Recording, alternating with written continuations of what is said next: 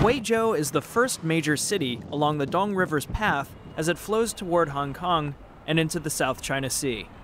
With a population of about 4 million, Huizhou is also an industrial hub in the economic powerhouse that is Guangdong Province's Pearl River Delta. Factories for electronics, petrochemicals, information technology, and other industries abound in Huizhou, and the city has seen rapid economic growth over the past two decades. But the environmental cost has been heavy.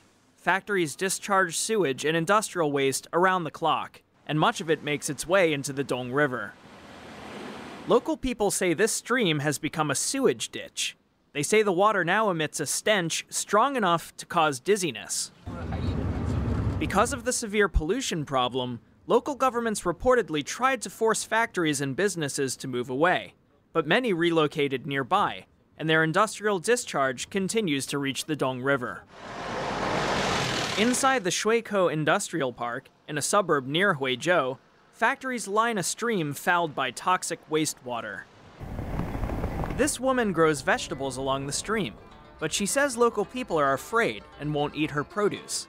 She says she sells them at a market in town, where buyers don't know where the vegetables were grown.